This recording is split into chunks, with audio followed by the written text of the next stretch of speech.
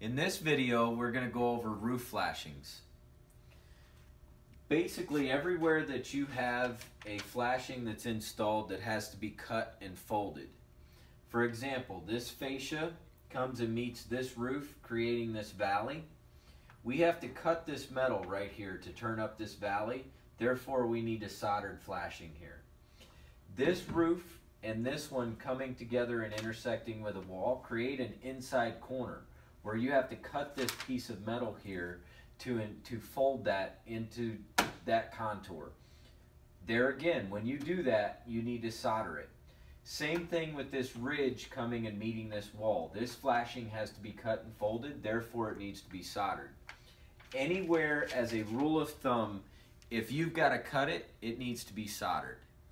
Otherwise, you're left with a hole that you can either caulk or you can leave open, and obviously that's going to cause a water intrusion issue. One thing that I really um, want to point out to you that we see all the time, because we do fix water intrusion as well.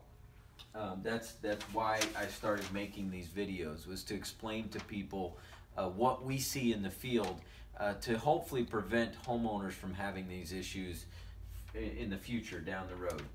Kick out flashings which are at the end of a roof run, direct the water that comes down the roof and wall intersection to go out of the wall instead of dumping in the wall like it typically would at this point right here, goes out of the wall and into the gutter.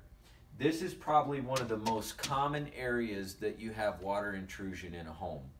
It basically rots out the wall underneath this fascia all the way down to the ground the most important aspect of once you have these flashings uh, made and in place is that they're installed correctly with the house wrap.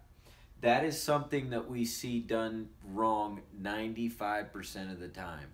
It's just as simple as lifting the house wrap up down here at the bottom and putting the flashing underneath it and then folding it right back down over the top of it. What that does is now that allows this water that hits this Tyvek to flow down the Tyvek and never go back behind the flashing like it can over here where this example of it being installed incorrectly. That water can go right here and go down behind the flashing. On this side, it can't do that. It has to stay outside the flashing and out the roof. So any questions that you have or any any information that you need that you feel like we did not cover here today feel free to reach out to us weatherproofingamerica.com thank you